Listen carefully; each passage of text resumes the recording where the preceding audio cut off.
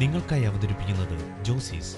In association with കരിക്കിനെ silk Villaggio silks beyond compare Kottayam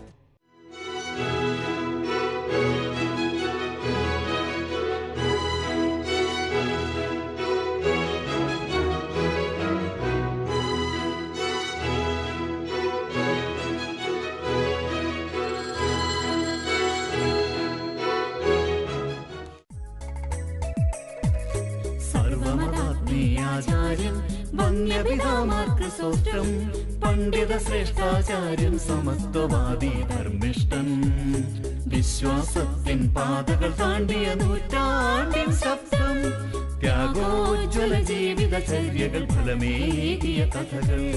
കാതോർത്തു മധുരം നിറയും മൊഴികളിൽ ചിരിയിൽ പൊതിഞ്ഞു നൽകും താതൻ കൈപ്പേറിയ സത്യങ്ങൾ. കാതോർത്തു ശ്രവിച്ചിടാം. നിറയും മൊഴികളിൽ വിത്തുകൾ പാകാൻ വിളവുകളേകാൻ ഹൃദയമൊരുക്കിടാം കാതോർത്തു ശ്രവിച്ചിടാം. നർമ്മം നിറയും മൊഴികളിൽ വിത്തുകൾ പാകാൻ വിളവുകളേകാൻ ഹൃദയമൊരുക്കിടാം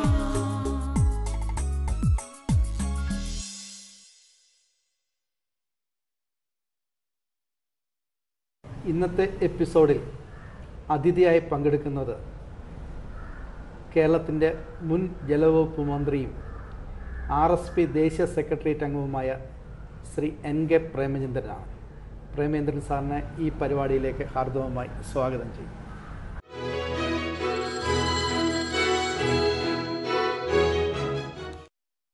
ക്രിസ്തോസം തിരുമേനിയുമായിട്ട് സാറിന് എങ്ങനെയാണ് പരിചയം ആരംഭിക്കുന്നതെന്ന് പറയാമോ?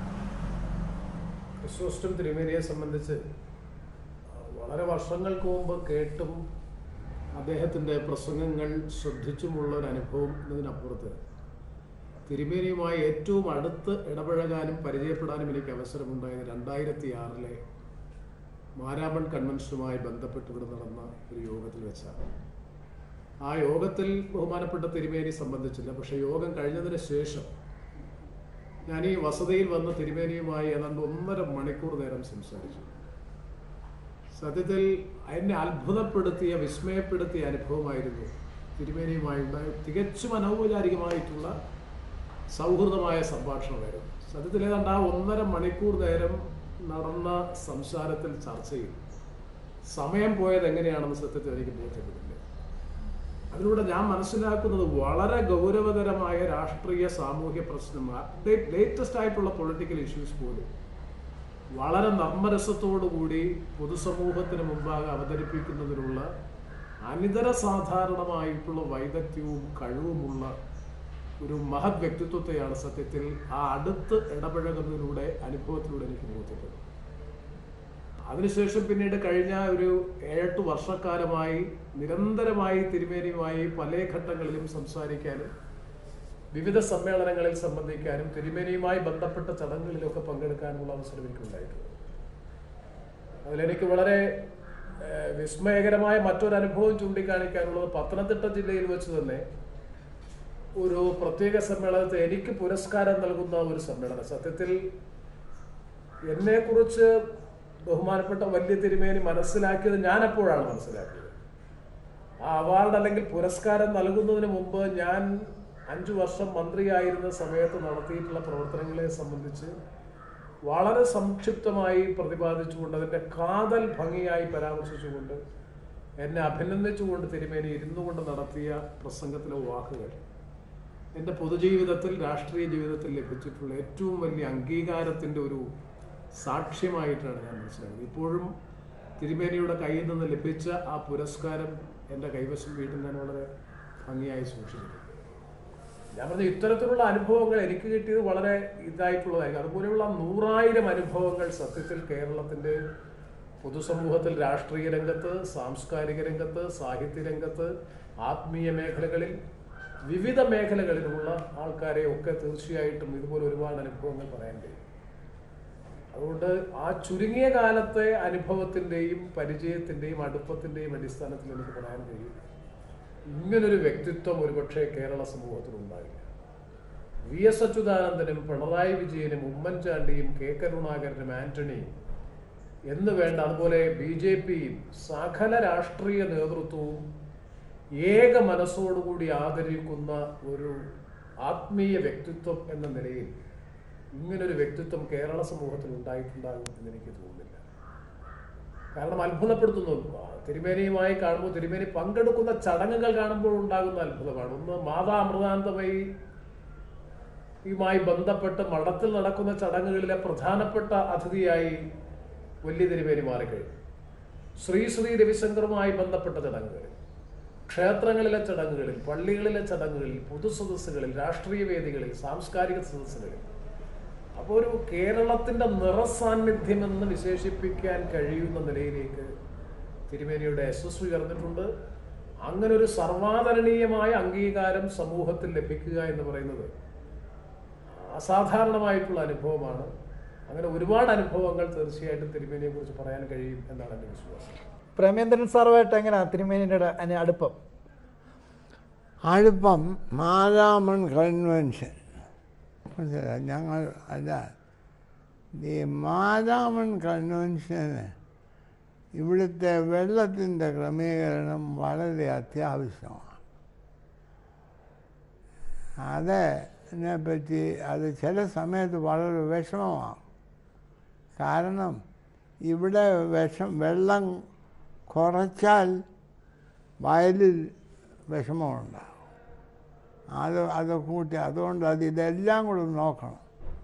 അതുകൊണ്ടൊരു വളരെ സിമ്പതറ്റിക്കായ ഒരു മിനിസ്റ്റർ അല്ലെങ്കിൽ ആ വളരെ വെറും ഇമ്പാർഷ്യൽ മാത്രമാണെങ്കിൽ നമ്മൾ ഒന്നിൽ വെള്ളത്തിലാകും അല്ലെ വെള്ളം ഇല്ലാതാകും. അങ്ങനെയാണ്.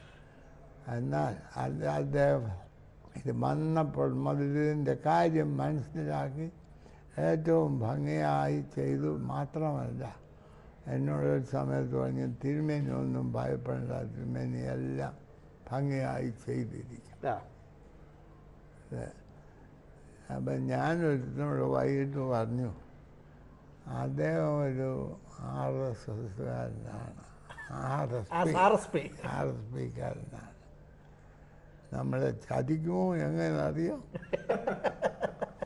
ഉടനെ ആ കേട്ട ആൾ എന്നോട് പറഞ്ഞ ഉത്തരം. എനിക്ക് വലിയ സന്തോഷമായി അയാൾ പറഞ്ഞു അത് നമുക്കുള്ള പണിയാണ് മറ്റുള്ള അവർക്കാർക്കുള്ളതാണ് എനിക്ക് അങ്ങനെ അങ്ങ് അങ്ങ് ഇഷ്ടമായിപ്പോയി അതായത് ഈ ക്രിസ്ത്യാനി ചതിക്കുന്നിടത്തോളം മറ്റുള്ളവർ ചതിക്കുകയല്ല എന്നവൻ എനിക്കിട്ടൊരു. കൂട്ടിയതാണ്. ഇത് ശരിയാണ്. ഇപ്പോഴും പറഞ്ഞ സമൂഹം നന്നാകാതെ മനുഷ്യനും ലോകവും നന്നാകുകയില്ല ആളുകൾ പരസ്പരം സ്നേഹിക്കാനും സഹകരിക്കാനും പഠിക്കണം. ഇന്ന് നമുക്കുള്ള വിഷമം അതാണ് അതേ എന്റെ അഭിപ്രായം ഈ സഭകൾ അതിനുള്ള അതായത് മാർത്തോമാ സഭ പറയുന്നത് യാക്കോവ സ്വീകരിക്കട്ടെ. യാക്കോവ പറയുന്നത് ഓർത്തഡോക്സ് സ്വീകരിക്കുക ക്രിസ്ത്യാനി പറയുന്നത് ഹിന്ദു ഹിന്ദു ഇങ്ങനെ അങ്ങ് നമ്മൾ സ്പ്ലിറ്റായിപ്പോയി. അതുപോലെ ഇപ്പം നിങ്ങൾ രാഷ്ട്രീയക്കാരും അങ്ങനെ. ഒരു പാർട്ടി അത് അതല്ല രാജ്യത്തിന്റെ നന്മയ്ക്ക് വേണ്ടി നമ്മളെല്ലാവരും കൂടി ഒരുമിച്ച് പ്രവർത്തിക്കണം. എന്നാൽ ശക്തീകരണങ്ങൾ വ്യത്യാസം ഉണ്ടായിരിക്കണം. വ്യത്യാസമില്ലെങ്കിൽ പിന്നെ രാഷ്ട്രീയത്തിനല്ല ഒന്നിനും പിന്നെ ഒരു സൗന്ദര്യം ഉണ്ടാകും അത് അല്ല അത് ഞാൻ സമ്മതിക്കുന്നു ശക്തീകരണം എന്നാൽ ശാക്തീകരണം സംഗതികൾ നശിപ്പിക്കുന്ന രീതിയിലായിരിക്കരുത്. തിരുമേനിയുടെ ഒരു വലിയ കൺസേൺ ആയി കേരളത്തിൽ വികസനം ഉണ്ടാവണം. പക്ഷേ രാഷ്ട്രീയ പാർട്ടികളും എല്ലാം വ്യത്യസ്ത ധ്രുവങ്ങളിൽ നിന്ന് പ്രവർത്തിക്കുന്നു. ഇത് എല്ലാ രാഷ്ട്രീയ പാർട്ടികളും ഒരു വികസന സംസ്കാരം രൂപപ്പെടുത്തണമെന്ന് തിരുമേനി എപ്പോഴും പറയാറുണ്ട്. അതിനെക്കുറിച്ച് സാറിന്റെ അഭിപ്രായങ്ങൾ? അല്ല അത് പൂർണമായും അല്ല. എനിക്ക് ഇപ്പോ വി എം എസിന്റെ കാലയളവിൽ അങ്ങനെ ഒരു ചർച്ച ആരംഭിച്ചതാണ്. കക്ഷി രാഷ്ട്രീയത്തിന് അതീതമായി നാടിന്റെ വികസന കാര്യങ്ങളിലും അതുപോലെ ജനങ്ങളുടെ ക്ഷേമത്തിന്റെ കാര്യത്തിലും ഒരു കൺസെൻസസ് പൊതു സമ സമവായം ഉണ്ടാകണമെന്നുള്ളത് പൊതുവെ ഞങ്ങൾ ഇടതുപക്ഷ പാർട്ടികൾ അംഗീകരിക്കുന്ന ഒരു പൊതു തത്വം തന്നെയാണ്. നിർഭാഗ്യവശാൽ അത് ഉണ്ടാകുന്നില്ല. പറച്ചിലിൽ പലപ്പോഴും ഇത് ഉണ്ടാകുന്നെങ്കിൽ പോലും.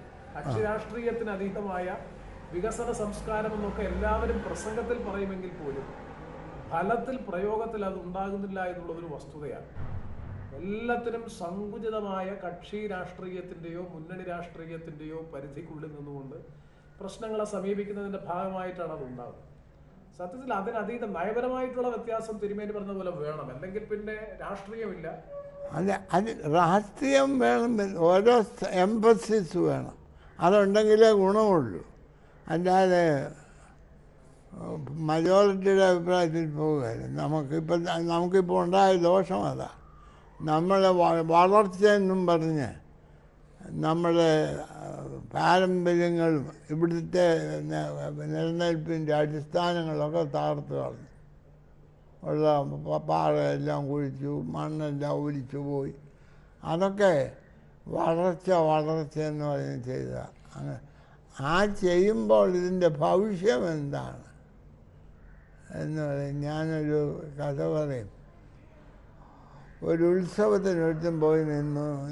ദൈവം വരാനായിട്ട് ഇച്ചിരി താമസം ഉണ്ടാകാട്ടെ അപ്പോൾ എല്ലാവരും അങ്ങനെ ബാജാറായി അപ്പോൾ ഒരുത്തൻ വഴിയെ പോയൊരു കാളയെ വരുത്തി കാള വരിന്റെ ക്രൗഡിലോട്ട് ചാടി. രണ്ടു മൂന്ന് പേരെ മുറിവേൽപ്പിക്കുക അപ്പോൾ അയക്ക് സാ. അയാൾ പറഞ്ഞു വെറുതെ നിന്ന് ആളുകളൊന്ന് സന്തോഷിച്ചോട്ടെന്ന് വിചാരിച്ചു. ഞാൻ പറയും ഒരു ക്രൗഡിൽ കാളെ വരുത്തുമ്പോൾ വരാവുന്ന ഭവിഷ്യങ്ങൾ ആലോചിക്കാതെ വരുത്തരുത്.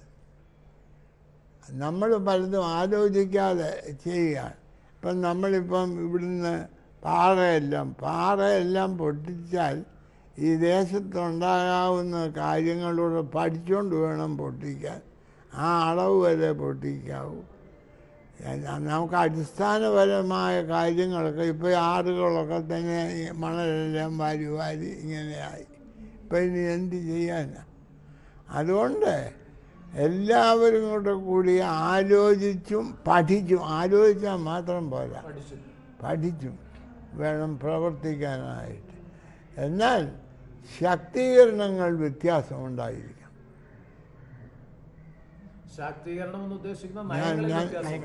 ഞാൻ പറഞ്ഞ ഇപ്പോൾ ഇവിടെ എന്റെ അഭിപ്രായം ഒരു എയറോഡ്രോം വേണം.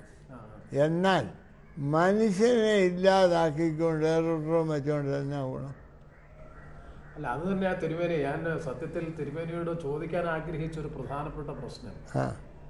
ഇപ്പോ പരിസ്ഥിതിയാണല്ലോ നമ്മുടെ കേരളത്തിൽ ഏറ്റവും പശ്ചിമഘട്ട സംരക്ഷണം. കസ്തൂരി രംഗൻ റിപ്പോർട്ട് അതുപോലെ മാധവ് ഗാഡ്ഗിൽ റിപ്പോർട്ട്. അതിന്റെ ഒക്കെ ഭാഗമല്ലെങ്കിൽ പോലും ആറന്മുള വിമാനത്താവളം ഉൾപ്പെടെ പമ്പാ നദീ സംരക്ഷണം ഉൾപ്പെടെ. തിരുമേനിയുടെ പല പ്രസംഗങ്ങളും ഞാൻ ശ്രദ്ധിച്ചിട്ടുണ്ട്.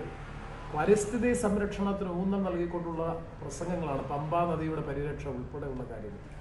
ഞാൻ മനസ്സിലാക്കുന്നു ആറന്മുള വിമാനത്താവളത്തിന്റെ കാര്യത്തിൽ പോലും സുധീരമായ ഒരു നിലപാട് വലിയ തിരുമേനെ സ്വീകരിച്ചു എന്നാണ് ഞാൻ മനസ്സിലാക്കുന്നത്. അതെ ഞാൻ പറഞ്ഞു നമുക്കിവിടെ വിമാനത്താവളം വരുന്നതിനോട് എനിക്ക് വളരെ അനുകൂലമാണ്. എന്നാൽ ഇവിടെയുള്ള ആളുകളുടെ താമസിക്കാൻ സ്ഥലമില്ലാതാക്കി അവർക്ക് കുടിക്കാൻ വെള്ളമില്ലാതാക്കി വിമാനം ആർക്കാ? അത് വിമാനം അങ്ങ് പോകുന്നവർക്കാ? ഈ വെള്ളം ഇതും ഇവിടെ ഇവിടെ താമസിക്കുന്നവർ അതുകൊണ്ട് ഇവിടെയുള്ള ആളുകളുടെ അടിസ്ഥാന ആവശ്യങ്ങൾ നഷ്ടപ്പെടുത്തിക്കൊണ്ട് മറ്റിടത്ത് പോകുന്നവർക്ക് സൗകര്യം ഉണ്ടാക്കുക എന്നുള്ളതിനോട് ഞാൻ യോജിക്കുന്നില്ല. അത് തന്നെയാണ് ഞങ്ങളും മുന്നോട്ട് വെക്കുന്നത്. കാരണം നിലവിലുള്ള ആവാസ വ്യവസ്ഥയെ തകിടം മറിയിക്കുന്ന നിലയിൽ ഒരു ദീർഘവീക്ഷണവും കൂടാതെയുള്ള വികസനം. അതിനോട് യോജിക്കാൻ കഴിയില്ല. അതാ. ഞാനത് അവരോട് ഞാൻ പറഞ്ഞു നിങ്ങൾ രണ്ടു കൂട്ടരും കൂടെ കൂടി ഒന്ന് ആലോചിച്ച് ഇവരൊരു കാര്യം പറയും മറ്റൊരു പറയും. അവർ പറയുന്നതിന്റെ മോളിൽ കൂടെ ഞങ്ങൾ ഓടിക്കുന്നത് എന്ന് പറഞ്ഞു. എനിക്ക് എനിക്കിത് സംബന്ധിച്ച് അറിയാവുന്ന ആളാണ്. ഞാൻ പറഞ്ഞിട്ട് ആ വിഷമം പറയുന്ന ആളുകളുമായി സംസാരിക്കും.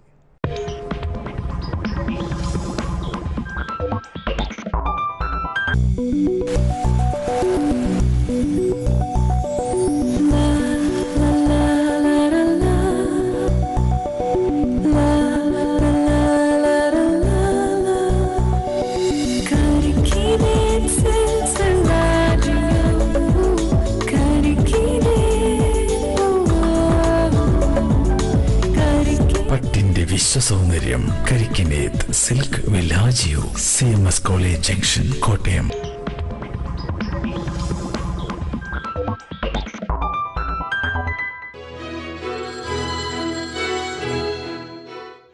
ഈ സംഭാഷ ചർച്ചയിലുണ്ടായ ഒരു ധാരണ എന്ന് പറയുന്നത് വികസനം വേണം പക്ഷെ പരിസ്ഥിതിയെ സംരക്ഷിച്ചുകൊണ്ടുള്ള വികസനം വേണം എന്നല്ലേ സാറും പറയാൻ ശ്രമിക്കും പരിസ്ഥിതിയെ സംരക്ഷിച്ചുകൊണ്ടും നിലവിലുള്ള ആവാസ വ്യവസ്ഥയ്ക്ക് കോട്ടം തട്ടാതെ ആഘാതം പരമാവധി കുറച്ചു. വികസനം ഉണ്ടാകുമ്പോൾ പാരിസ്ഥിതിക ആഘാതം ഉണ്ടാകും. പക്ഷേ ആ പാരിസ്ഥിതിക ആഘാതം പരമാവധി പരിമിതപ്പെടുത്തിക്കൊണ്ട് നേരത്തെ തിരുമേനി പറഞ്ഞതുപോലെ ദീർഘകാല ലക്ഷ്യം വെച്ചുകൊണ്ടുള്ള വികസന പ്രവർത്തനങ്ങൾ അതിനെ ആലോചിച്ചും പഠിച്ചും രണ്ട് വാക്കുകളും വളരെ പ്രസക്തമാണ് തിരുമേനി പറഞ്ഞ. ആലോചിച്ചും പഠിച്ചും. അതിന്റെ വരും വരാഴികളെ സംബന്ധിച്ച് നല്ലതുപോലെ പഠിച്ചും വേണം. ഒരു വികസന പ്രവർത്തനത്തിന് രൂപം നൽകാൻ. അതെ നിർഭാഗ്യവശാൽ തിരുമേനി പറഞ്ഞതുപോലെ ഇന്ന് വളർച്ചയുടെ പേരിലുള്ള അനിയന്ത്രിതമായിട്ടുള്ള വികസന സാമ്പത്തിക വളർച്ചയാണ് വികസന സൂചികയായി ഇന്ന് കാണുന്നത്. ആ നിലപാടിനോടാണ് നമുക്ക് യോജിക്കാൻ കഴിയാത്തത്. വളർച്ചയുടെ പേരിൽ പരിസ്ഥിതിയെ വിസ്മരിച്ച് ജനങ്ങളെ വിസ്മരിച്ചുകൊണ്ട് ഉണ്ടാകുന്ന ഈ വികസന പ്രവർത്തനം സമൂഹത്തിൽ നേരത്തെ തിരുമേനി ബന്ധം ദീർഘകാലാടിസ്ഥാനത്തിൽ പരിശോധിക്കുമ്പോൾ ദോഷം ചെയ്യുമെന്നുള്ളതാണ് പൊതുവായി ഞങ്ങളുടെയൊക്കെ കാഴ്ചപ്പാട് തിരുമേനി തോന്നുന്നു അത് തന്നെയാണ് റെപ്രസെന്റ് ചെയ്യുന്നതാണ് എന്റെ വിശ്വാസം. ഈ മദ്യപാനം ഇന്ന് സമൂഹത്തിൽ വലിയൊരു ദോഷം ചെയ്യുന്നുണ്ട്. ഇപ്പം തിരുമേനി അതിനെപ്പറ്റി വളരെ കൺസേൺഡാണ് കാരണം ഇന്ന് ജനങ്ങൾ ഏറ്റവും കൂടുതൽ മദ്യപാനത്തിനോട് സമയവും എനർജിയും കളയുന്നു എന്നുള്ളതാണ്. അല്ലേ ഒരു കേരളത്തെ സംബന്ധിച്ച് ഏറ്റവും ഒരു ഗൗരവതരമായ പ്രശ്നമായി വന്നുകൊണ്ടിരിക്കുന്നത് മദ്യപാനം. എന്റെ അഭിപ്രായത്തിൽ റോഡ് അപകടങ്ങളിൽ മരണപ്പെടുന്നവരിൽ എന്റെ എൺപത് ശതമാനത്തിലധികം പേർ മദ്യപാനവുമായി ബന്ധപ്പെട്ട് വാഹനം ഓടിച്ചതിന്റെ ഭാഗമായിട്ട്. എന്റെ കണക്കെടുത്താൽ തന്നെ അറിയാം. ഏതാണ്ട് ഒരു പതിനെട്ട് വയസ്സിനും മുപ്പത്തിയഞ്ച് വയസ്സിനും ഇടയിലുള്ളവരാണ് ബൈക്ക് യാത്രക്കാർ ഏറ്റവും കൂടുതൽ മരിക്കുന്നത്. കൂടുതൽ മരണങ്ങളും ഉണ്ടാകുന്നത് ബാറിൽ നിന്ന് പുറത്തിറങ്ങിയതിന് ശേഷം അല്ലെങ്കിൽ ലിക്വർ കഴിച്ചതിന് ശേഷം ഉണ്ടാകുന്ന അപകടങ്ങളാണ്.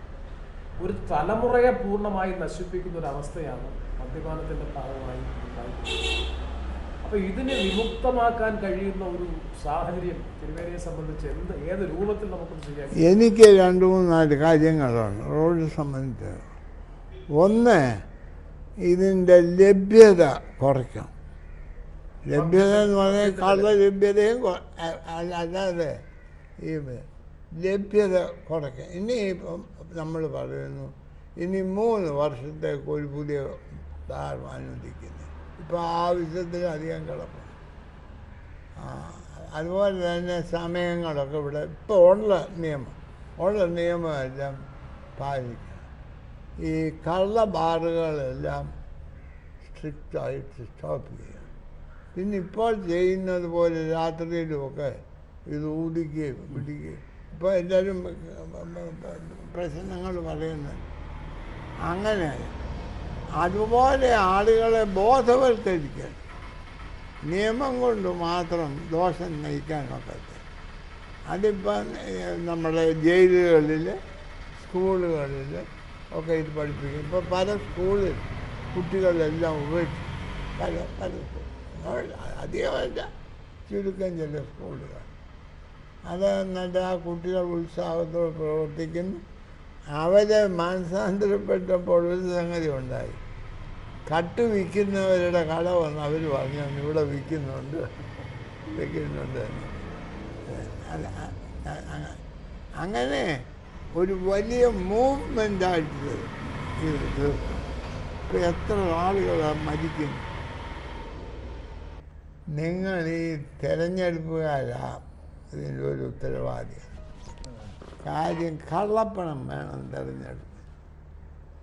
അല്ല അതൊക്കെ നമ്മുടെ സ്ഥിതി അങ്ങനെയാണ് കാര്യം ആ പണം എവിടെ നിന്നാണ് കിട്ടുന്നത്? ആരെങ്കിലും എഴുതാൻ നോക്കുമോ ഞാൻ ഇന്ന പാർട്ടിക്ക് ഇത്ര രൂപ കൊടുത്തു. അപ്പോൾ അത് കള്ളപ്പണം ഉണ്ടവനത് എഴുതാം. അത് അപ്പോൾ ഈ കള്ളപ്പണം പുഴകൂട്ടി ചെയ്യേണ്ടത് തിരഞ്ഞെടുക്കപ്പെടുക്കേണ്ട ഒരു ആവശ്യം. ആ ഞാനതിന് കുറ്റവും കാര്യമൊന്നുമല്ല പറയുന്നത്. ആണ് അതെ ഇല്ലാതെ നമുക്ക് ഒക്കും ഒക്കുമെങ്കിൽ അതിനുള്ള ഞാൻ പറഞ്ഞ അതിനുള്ള മാർക്ക് അതിന് കുറേ രൂപ വീതം കൊടുക്കണമല്ലേ അല്ല അതിന് നല്ല നിർദ്ദേശങ്ങൾ ഗവൺമെന്റിന്റെ കൈവശമുണ്ട്. പല കമ്മീഷനുകളെയും വെച്ചിട്ടുണ്ട്. ആ. ടി എൻ ശേഷൻ പറഞ്ഞത്. ടി എൻ ശേഷൻ ആ തെരഞ്ഞെടുപ്പ് കമ്മീഷണറായിരുന്ന മുഖ്യ തെരഞ്ഞെടുപ്പ് കമ്മീഷണറായിരുന്ന ടി എൻ ശേഷൻ ഒരിക്കൽ പറഞ്ഞത് corruption begins from the date of filing nomination നാമനിർദ്ദേശ പത്രിക കൊടുക്കുന്നതിന്റെ അന്നാണ് കറപ്ഷൻ ആരംഭിക്കുന്നത്. അത് നൂറ് ശതമാനം ശരിയാണ്. അപ്പം നമ്മുടെ രാജ്യത്ത് ഈ തെരഞ്ഞെടുപ്പ് പരിഷ്കാരങ്ങളാണ് സത്യത്തിൽ അഴിമതി വിമുക്തമായ ഒരു ഭരണ സംവിധാനത്തിന് തെരഞ്ഞെടുപ്പ് പരിഷ്കാരങ്ങൾ. തെരഞ്ഞെടുപ്പിന്റെ ടോട്ടൽ ഫണ്ടിങ് ഗവൺമെന്റ് വഹിക്കണം. അതാണ് ഒരുപാട് കമ്മീഷനുകൾ മുന്നോട്ട് വെച്ചിട്ടുള്ള നിർദ്ദേശം. ഇന്ന് തെരഞ്ഞെടുപ്പ് രാഷ്ട്രീയത്തെ സ്വാധീനിക്കുന്ന ഏറ്റവും പ്രധാനപ്പെട്ട ഘടകം പണത്തോടൊപ്പം മദ്യവുമായി മാറിക്കഴിഞ്ഞു. തിരുമേനി സൂചിപ്പിച്ച വളരെ ശരിയാണ്. മദ്യം തെരഞ്ഞെടുപ്പ് വിധിയെ പോലും സ്വാധീനിക്കും ഞാൻ എന്റെ അനുഭവത്തിൽ നിന്ന് പറയുക. മദ്യം തെരഞ്ഞെടുപ്പ് രാഷ്ട്രീയത്തിലെ തെരഞ്ഞെടുപ്പിന്റെ വിധിയെ സ്വാധീനിക്കുന്ന ഒരു ഘടകമായി മദ്യം മാറിയിട്ടുണ്ട്. അപ്പൊ എത്രമാത്രം ആപൽക്കരമാണ് നമ്മുടെ രാഷ്ട്രീയ സമൂഹത്തിൽ തന്നെ വന്ന് ഭവിച്ചിട്ടുള്ളത്. നമ്മുടെ പൗരബോധം രാഷ്ട്രീയ ബോധം പ്രതിബദ്ധത ഇതെല്ലാം നഷ്ടപ്പെടുകയാണ് വേറൊരു ഭാഗത്ത് സാംസ്കാരികമായി. ഒരു ഭാഗത്ത് റോഡപകടങ്ങളിലൂടെ ഉണ്ടാകുന്ന മരണം കുടുംബങ്ങളുടെ തകർച്ച കുട്ടികളുടെ വിദ്യാഭ്യാസം നഷ്ടപ്പെടുന്ന ഉൾപ്പെടെയുള്ള സാമൂഹ്യ പ്രശ്നങ്ങൾ മറുഭാഗത്ത് നമ്മുടെ സാംസ്കാരിക സമൂഹത്തിൽ ഉണ്ടായിക്കൊണ്ടിരിക്കുന്ന വലിയ ഭീകരമായിട്ടുള്ള അവസ്ഥ. അപ്പൊ ഇതിനെതിരായി നേരത്തെ പറഞ്ഞതുപോലെ ബോധവൽക്കരണത്തോടൊപ്പം തന്നെ നിയമം കർശനമായി നടപ്പാക്കാൻ കഴിയും ഞാൻ ഒരു ഉദാഹരണം ഋഷിരാജ് സിംഗ് നമ്മുടെ ട്രാൻസ്പോർട്ട് കമ്മീഷണറായി ചുമതലയേറ്റതിനു ശേഷം അപകട നിരക്ക് കുറഞ്ഞു. മദ്യപിച്ച് വാഹനം ഓടിക്കുന്നവരുടെ എണ്ണം ഗണ്യമായി കുത്തനെ കുറഞ്ഞു. അപ്പൊ അത് ചൂണ്ടിക്കാണിക്കുന്നത് തിരുമേനി പറഞ്ഞതുപോലെ നമ്മുടെ രാജ്യത്തെ നിയമങ്ങൾ നടപ്പാക്കിയാൽ മതി നിയമം നടപ്പാക്കുന്നതിലുള്ള ഗുരുതരമായിട്ടുള്ള വീഴ്ചയാണ് പ്രധാനപ്പെട്ട പ്രശ്നം അപ്പം നിയമം നടപ്പാക്കുകയും ഒപ്പം ക്യാമ്പസുകളിൽ ബോധവൽക്കരണവും നടത്തി മദ്യപാനവും മയക്കുമരുന്ന് ഉൾപ്പെടെയുള്ള ആസക്തികളിൽ നിന്ന് പുതിയ തലമുറയെ വിമോചിതമാക്കുന്നതിലൂടെ മാത്രമേ ഈ പ്രശ്നം ഞാൻ ചോദിക്കുന്നു ആശംസ പറഞ്ഞു നിർത്താൻ പോകും ആശംസ ഒരു ചോദ്യം ചോദിക്കാം ഇങ്ങനെ ഒരു പരിപാടി നമുക്കെല്ലാവർക്കും കൂടെ കൂടി ചെയ്യാമെന്ന് പറഞ്ഞാൽ സാധ്യമാകും. സാധ്യമാണ് സാധ്യമാണ് കാരണം ഇപ്പോൾ സി പി എമ്മിന്റെ വിവിധ ബഹുജന സംഘടനകൾ അവരുടെ മഹിളാ അസോസിയേഷൻ ഡിവൈഎഫ്ഐ അടക്കമുള്ള സംഘടനകൾ ഈ ക്യാമ്പയിൻ ഇപ്പോൾ ഏറ്റെടുത്തിട്ടുണ്ട്. ഞങ്ങളുടേതായിട്ടുള്ള പരിമിതിയിൽ നിന്നുകൊണ്ട് ആർ എസ് പി ഞങ്ങളുമൊക്കെ ഈ ക്യാമ്പയിൻ ഇപ്പോൾ ഏറ്റെടുക്കുന്നുണ്ട്. മദ്യപാനത്തിനെതിരായി മദ്യാസക്തിക്കെതിരായി ഒരു ക്യാമ്പയിൻ ഏറ്റെടുക്കുന്നു ഇതിൽ ഒരു പൊളിറ്റിക്കൽ കൺസെൻസസ് ഉണ്ടാക്കാൻ പറ്റുമെങ്കിൽ തന്നെ കേരളം രക്ഷപ്പെട്ടു. U D F L D F B J P വ്യത്യാസം കൂടാതെ മദ്യാസക്തിക്കെതിരായിട്ടുള്ള ഒരു വിപുലമായ കൺസെൻസസ് രാഷ്ട്രീയ സമവായം രൂപപ്പെടുത്താൻ കഴിയുമെങ്കിൽ തിരുമേനി പറഞ്ഞ നിർദ്ദേശം ഒരു അൻപത് ശതമാനം പ്രാവർത്തികമാക്കാൻ കഴിയും എന്ത് ചെയ്യാനോ? അല്ല അതിന് തിരുമേനിയെ പോലെയുള്ളവർ മുൻകൈ എടുക്കണം. അതുപോലെ എനിക്കതേ അഭിപ്രായപ്പെട്ട സഭകൾക്ക് ഇത്തരം കാര്യങ്ങളിൽ വലിയ പങ്കുണ്ട്. സഭയ്ക്കും സഭാ നേതൃത്വത്തിനും ഒക്കെ ഒരു വലിയ പങ്കുണ്ട്. ഉണ്ടുണ്ട് അത് സഭകളും രാഷ്ട്രീയ നേതൃത്വവും ഒക്കെ കൂടിയായിട്ടുള്ള ആലോചനകൾ ഈ കാര്യത്തിൽ വരണം. എന്റെ മനസ്സിൽ ഇരിക്കുന്ന സഭ ഇങ്ങോട്ടല്ല നമ്മൾ സഭയിലോട്ട്. അല്ല ഞാനത് കാര്യമായി പറഞ്ഞത് സഭ മനസ്സിലാക്കണം നന്മയെല്ലാം അവരുടെ പോക്കറ്റിലേ ഉള്ളൂ. എന്നല്ല നമ്മൾ ചരിത്രത്തിന്റെതാക്കണം. സഭയും സമൂഹവും രണ്ടും രണ്ടല്ല. അല്ല ഞാൻ. വലിയ ഭാഗമാണ് സഭ. അപ്പൊ സഭയും രാഷ്ട്രീയ സമൂഹവും ഒക്കെ ഇത്തരം കാര്യങ്ങൾ അത് നമ്മുടെ രണ്ടുപേരും അങ്ങനെ പറഞ്ഞുകൊണ്ട് നോക്കുമോ ഇതിന്റെ വലിയ പുള്ളികൾ പറഞ്ഞു ഇതിന്റെയൊക്കെ ചർച്ച ഇപ്പൊ ഈ ചർച്ച നടക്കുന്നു. വലിയ തിരുമേനി ഈ കാര്യങ്ങൾ പറയുന്നു. ഇതെല്ലാം ചെറിയ ചെറിയ ചലനങ്ങൾ സമൂഹത്തിൽ ഉണ്ടാകും ഇത് കേൾക്കുന്ന ശ്രോതാക്കളുടെയും അതുപോലെ പിന്നെ കാണുന്ന പ്രേക്ഷകരുടെയും ഒക്കെ മനസ്സിൽ അതിന്റെതായ ചെറിയ ചെറിയ ചലനങ്ങൾ ഇത്തരത്തിലുള്ള ചെറിയ ചെറിയ ചലനങ്ങളാണ് വലിയ ആശയങ്ങളായി പിന്നെ രൂപപ്പെടുന്നത്. കേരളം ആദരിക്കുന്ന ഏറ്റവും കൂടുതൽ ബഹുമാനിക്കുന്ന വലിയ മെത്രോപോലിത്ത തിരുമേനി എന്ന് വളരെ ആദരവോടുകൂടി നമ്മളെല്ലാം വിശേഷിപ്പിക്കുന്ന അഭിമന്യ മാർ ക്രിസോസ്റ്റം തിരുമേനി ജീവിതത്തിന്റെ ഉദ്ധരാർത്ഥത്തിലൂടെ മുന്നോട്ട് പോയിക്കൊണ്ടിരിക്കുകയാണ്. ആ ഉദ്ധരാർത്ഥത്തിന്റെ ഘട്ടത്തിൽ പോലും സമകാലിക പ്രസക്തമായിട്ടുള്ള സാമൂഹ്യ പ്രശ്നങ്ങളിലും രാഷ്ട്രീയ പ്രശ്നങ്ങളിലും സജീവമായി ഇടപെട്ടുകൊണ്ട് ചെറുതെന്നോ വലുതെന്നോ ഉള്ള വ്യത്യാസം കൂടാതെ എല്ലാവരോടും സഹകരിക്കുകയും എല്ലാവരും വിളിക്കുന്ന പരിപാടികളിൽ പങ്കെടുക്കുകയും ചെയ്തുകൊണ്ട് കേരളത്തിന്റെ പൊതുസമൂഹത്തിന്റെ ഉന്നതമായ പ്രതീകമായി മാതൃകാപരമായ പ്രതീകമായി നിലകൊള്ളുന്ന അഭിവന്യ മാർക്ക് സോസ്റ്റം തിരുമേനിക്ക് കൂടുതൽ കാലം കൂടുതൽ ആരോഗ്യത്തോടും കഴിവോടും കൂടി നിറഞ്ഞു നിന്ന് സമൂഹത്തിന് വേണ്ടി പ്രവർത്തിക്കാൻ നാടിനു വേണ്ടി നല്ലത് പ്രദാനം ചെയ്യാനുള്ള ആയുർദൈർഘ്യവും ആരോഗ്യവും ശേഷിയും ശേംഷിയും ഒക്കെ അദ്ദേഹത്തിന് നൽകട്ടെ ലഭ്യമാകട്ടെ എന്ന് ഈ അവസരത്തിൽ ആത്മാർത്ഥമായി ആഗ്രഹിക്കുന്നു. അതിനായി ഒരായിരം ആശംസകൾ നേരുന്നു. അതിനുള്ള എല്ലാ കഴിവും സിദ്ധികളും അദ്ദേഹത്തിന് ലഭ്യമാകട്ടെ എന്ന് ആത്മാർത്ഥമായി ഈ അവസരത്തിൽ പ്രാർത്ഥിക്കുകയും ചെയ്യും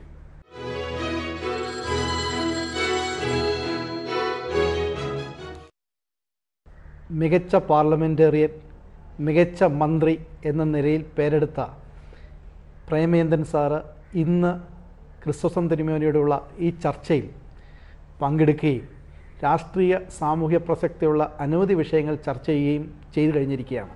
ഇന്ന് ഈ ചർച്ചയിൽ പങ്കെടുത്ത പ്രേമേന്ദ്രൻ സാറിനുള്ള നന്ദി രേഖപ്പെടുത്തുന്നു. കാതോർത്തു മധുരം നിറയും മൊഴികളിൽ ചിരിയിൽ പൊതിഞ്ഞു നൽകും താതൻ കൈപ്പേറിയ സത്യങ്ങൾ. കാതോർത്തു ശ്രവിച്ചിടാം നർമ്മം നിറയും മൊഴികളിൽ വിത്തുകൾ പാകാൻ വിളവുകളേകാൻ ഹൃദയമൊരുക്കിടാം കാതോർത്തു ശ്രവിച്ചിടാം നർമ്മം നിറയും മൊഴികളിൽ വിത്തുകൾ പാകാൻ വിളവുകളേകാൻ ഹൃദയമൊരുക്കിടാം